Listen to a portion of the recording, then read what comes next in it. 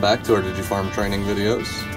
Today we are going to show you how to program a 372 for an IntelliSlope tile plow situation using a Pro 700 display.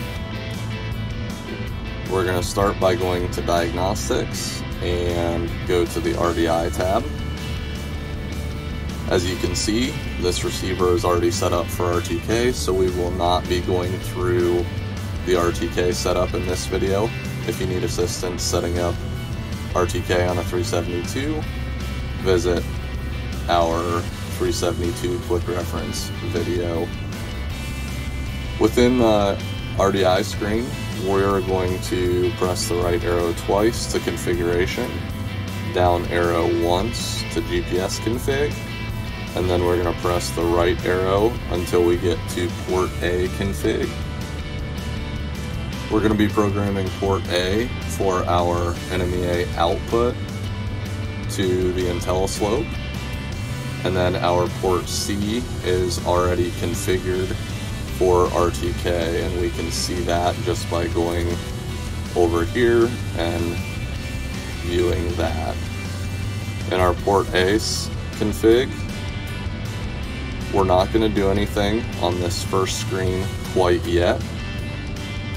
We're going to come down, confirm that port A out uh, is set and RTC is off. On the NMEA 1 screen, we want to confirm GGA and GSA are both capitalized. On the NMEA 2 screen, we want to confirm RMC and VTG are both capitalized.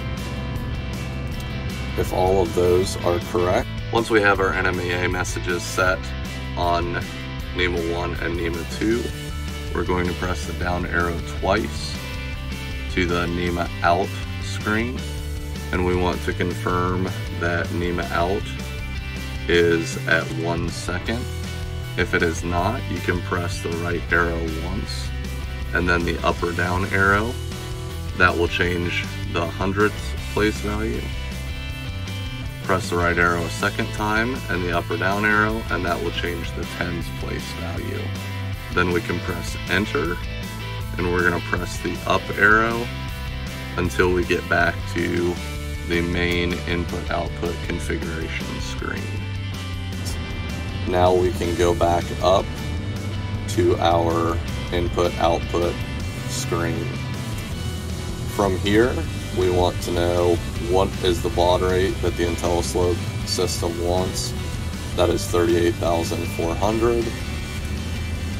The top line on this screen is the input into port A. The bottom line is the output out of port A.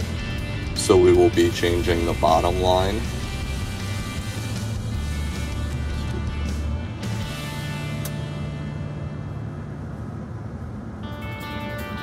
So we want to press the right arrow six times to get to the bottom TSIP.